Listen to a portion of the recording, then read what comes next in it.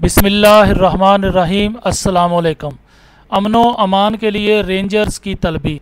मजहबी तंजीम Tehreek Labbaik Pakistan T L P की जानब से अपने मुतालबात के हक़ में तीन रोज़ कबल शुरू किए जाने वाले पुरतशद एहतजाज सड़कों पर धरने तोड़ फोड़ आतश जनी अहम शहराहों की जबरी बंदश शहरीों के मामूलत ज़िंदगी दरहम बरहम करने, पुलिस पर हमलों, तसादम बाज़ कीमती जानों के अतलाफ़ और सरकारी और निजी अमला को नुकसान पहुँचाने से पैदा होने वाली अफसोसनाक सूरत हल पर काबू पाने के लिए बिलाखर वफाकी काबीना का लाहौर, रावलपिंडी और दूसरे मुतासर शहरों में पैरा मिल्ट्री फोर्सेस तलब करने की मंजूरी देना हालात की संगीनी को ज़ाहिर करता है।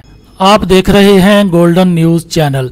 बर मेहरबानी वीडियो को लाइक करें, शेयर करें और कमेंट्स बॉक्स में अपनी राय का इजहार करें।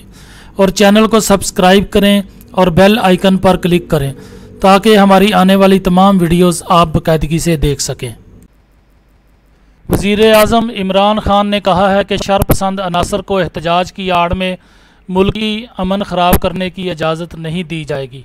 वज़ीर अहमद ने भी कहा है कि रास्ते खोलने के लिए तमाम इकदाम किए जाएँगे मामले की इब्तदा फ्रांस में गुस्ताखाना खाकों की मत इशात से हुई, जिसके ख़िलाफ़ पूरे आलम इस्लाम की तरह पाकिस्तान में भी शदीद रद्द अमल सामने आया। टी एल पी इसके ख़िलाफ़ सड़कों पर आ गई।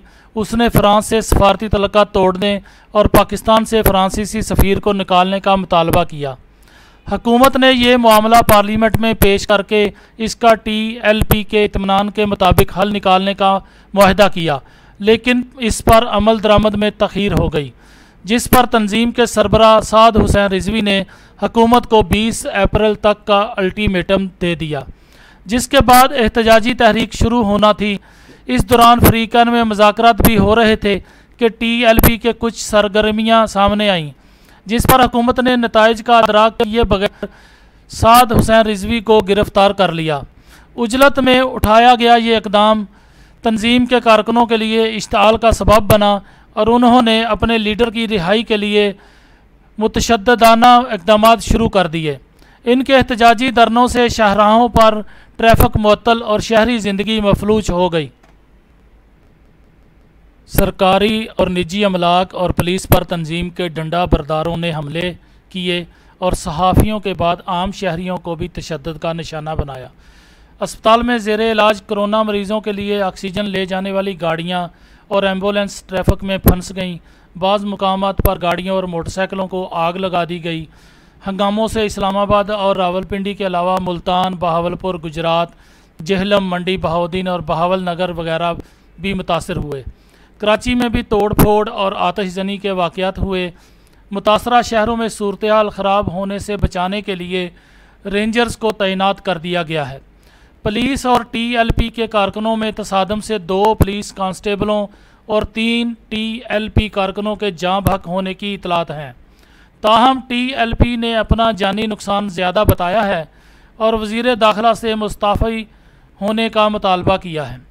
सौ से जायद मज़ाहरीन गिरफ़्तार किए जा चुके हैं। टी एल पी का कहना है कि जब तक साद हुसैन रिजवी को रिहा और फ्रांसीसी सफ़ीर को मुल्क से निकाला नहीं जाता उसके कारकुन सड़कों पर रहेंगे। जहाँ तक फ्रांस से पाकिस्तान के तल्लक का तल्लक है तो दोनों मुल्कों में गुस्ताखाना खाकों की अशात के बाद तजारत रुकी हुई है। फ्रांस ने एक साल से पाकिस्तानियों के लिए कोई नया वीज़ा भी जारी नहीं किया।